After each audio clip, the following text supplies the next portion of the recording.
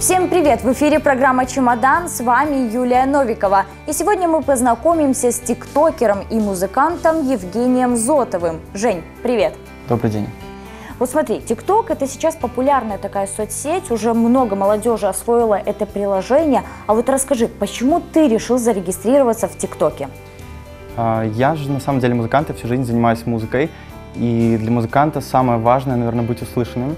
Самое важное — продвинуть себя, найти э, способ стать известным. И я верю в то, что ничего не бывает так просто. Все это, скорее всего, работа. И э, сейчас же соцсети максимально популярны э, в наше время, но Инстаграм, э, так же как YouTube, сейчас более такие бизнес-платформы, э, бизнес-площадки, и на них на самом деле сложно сейчас э, с нуля стать известным. И появилась э, такая социальная сеть, как TikTok. Я про нее узнал случайно, случайно от своих друзей. Э, подумал, почему, почему, почему бы не попробовать не поснимать именно туда, э, потому что в ТикТоке стать популярным сейчас э, несколько проще, чем на Ютубе. Скажем, ТикТок — это Ютуб 10 лет назад. Все просто потому, что ты можешь снять интересный контент, ты можешь снять, как ты танцуешь, поешь, играешь, что-то рассказываешь. И если твой контент будет интересен людям, то ТикТок сам продвигает тебя, делает тебя более популярным, известным. Таким образом, ты можешь создать себя сам с нуля, просто взять в руки телефон, снимать себя постоянно, снимать каждый день, что-то делать интересное и стать э, известным, стать популярным, в общем, сделать себя сам, и не нужно совершенно, э, на самом деле, никакой большой команды и ничего сложного, никаких вложений. То есть э, одному вполне можно поднять себя с нуля и заниматься тем, что тебе нравится, показывать это людям. Но ты вот уже упомянул, что ты с детства в музыке, угу. ты поешь, играешь на скрипке, фортепиано, занимаешься также аранжировкой. Угу. И я так понимаю, что придумать идеи для видео тебе не составило большого труда, да? Концепцию ты определил сразу. А вот как ты добился такой популярности? Ведь там конкуренция в ТикТоке просто бешеная. Угу. Да, но тут опять сводится к тому, что я музыкант, и мне не нужно придумывать много контента разнообразного, мне не нужно как сейчас в ТикТоке модно создавать липсинги, просто открывать рот под музыку. Мне не нужно что-то интересное рассказывать. Я просто снимаю то, чем я занимаюсь каждый день в обычной жизни. Я пою, я играю на скрипке.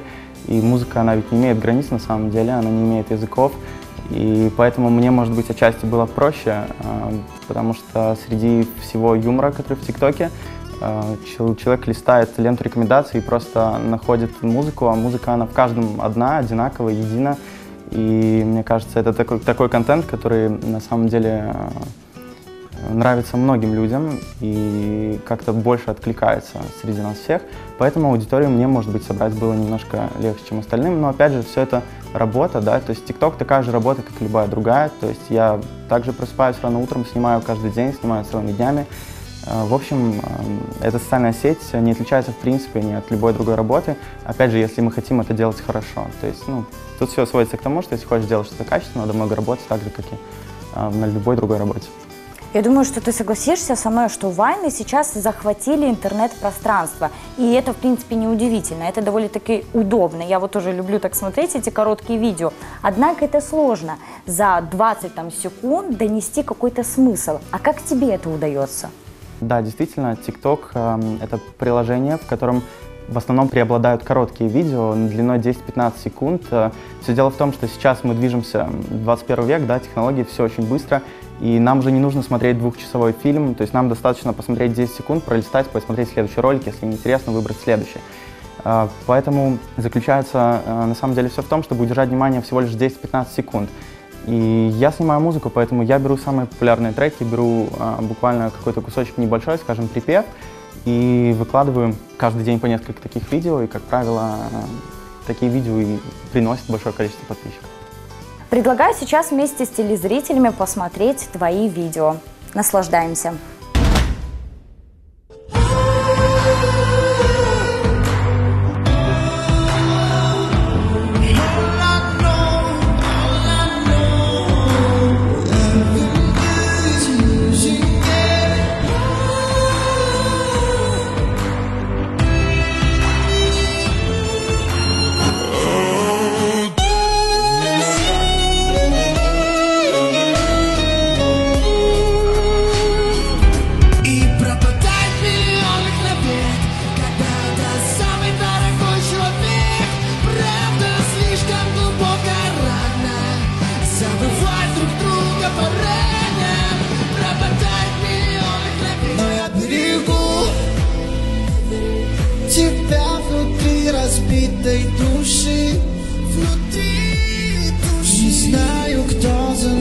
Все решил Все Прости за то, что счастье лишил yeah. Прости.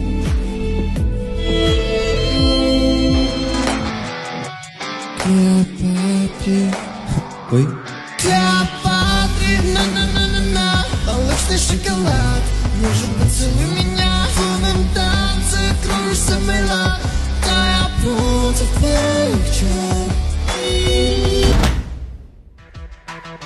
Также ты ведешь Инстаграм, и там у тебя более 20 тысяч подписчиков. И я вот так заметила, что большое внимание ты уделяешь эстетике. Вот расскажи, что тебя вдохновляет на создание фотокарточек? Да, Инстаграм действительно веду. Ну, 20 тысяч это на самом деле очень мало, конечно, особенно если мы берем музыкантов, а, ребят, на которых я ориентируюсь. 20 тысяч это совсем еще ничто. А, что касается эстетики, да, я стараюсь сделать максимальный упор на эстетику, на минимализм в фотографиях. Не знаю, для меня Инстаграм это такая душина, приносит на самом деле удовольствие, эстетическое удовольствие. Там очень много красивых аккаунтов, людей, которые э, красиво передают свою жизнь и, ну, посредством фотографий. Э, вот. Ну, я, конечно, стараюсь тоже такими вещами немножко заниматься. Дело в том, что мы все в Инстаграме уже устали от фильтров, устали от бесконечной обработки, и я стараюсь э, сделать кадр прямо с нуля, совершенно не накладывая никакую обработку. Мне кажется, в этом есть некая своя изюминка, в том, чтобы найти Э, вот этот вот тот самый кадр и, и сделать его максимально минималистичным, но при том э, передать какой-то жизненный, настоящий момент, передать эмоцию прямо посредством вот такой фотографии. Поэтому для меня Инстаграм на самом деле сейчас является такой вот э, тоже важной платформой, и мне безумно нравится его вести. А сколько вообще вот времени проводишь в социальных сетях? Ну, на самом деле, 2020 год показал, особенно в условиях карантина, а, целые дни практически. На самом деле я провожу, может быть, часов по 10-12 в телефоне бесконечно. Это и телефон, и компьютер, пока ты все это смонтируешь, выложишь, а, найдешь новые идеи для роликов, найдешь новые идеи для фотографий в Instagram Stories. А, на самом деле я полдня, не соврать, провожу действительно в социальных сетях. А вот не устаешь от этого? Устаю, да, но это такие издержки профессии, скажем, приходится с этим мириться. Давай теперь поговорим о детстве. Ты в Инстаграм писал, что родители тебя в 5 лет отдали на скрипку, и до 15 лет твое детство можно назвать на 70% кошмаром. Почему? Да, но здесь все связано, наверное, с тем, что я изначально все воспринял как-то через а, излишнюю работу. Для меня казалось, что занятие на скрипке это очень, это действительно очень тяжело, а, но я прям все через слезы, через а, боль какую-то внутри себя все это воспринимал, подходил к этому всему слишком как-то утрированно. И занятия на скрипке действительно требуют, особенно в детстве, большого количества времени. То есть нужно заниматься каждый день, нужно заниматься там, от двух до четырех часов, иногда больше. И мне приходилось так заниматься. На самом деле я не хотел, но родители, да, родители, педагог все время говорили, что нужно, нужно заниматься. Особенно были успехи, были конкурсы. Э, я постоянно участвовал в каких-то конкурсах, и поэтому приходилось много работать в детстве. И действительно, в то время, когда все мои друзья а, все ребята гуляли во дворе, играли, катались на скейтах. Я занимался на скрипке каждый день в слезах и очень редко выходил по сравнению с ними на улицу. Но сейчас все кардинально поменялось. А, сейчас, конечно, я хочу сказать большое спасибо моим родителям, моему педагогу за то, что такой путь дали мне пройти, за то, что выдержали, и за то, что я сейчас имею то, что имею, благодаря им, потому что здесь на самом деле моей заслуги практически нет. Тут мама, папа и, конечно же, педагог. А можно сказать, что вот сейчас музыка стала стилем твоей жизни? Да, однозначно. Я просыпаюсь, засыпаю только с музыкой. Я целыми днями работаю. Мечтаю, что когда-нибудь все получится. Я обязательно верю, что все получится. Здесь главная работа и э, иметь цели, в них верить и много-много работать. Отлично, спасибо большое за интервью. А я напоминаю, что сегодня мы познакомились с популярным тиктокером и музыкантом Евгением Зотовым.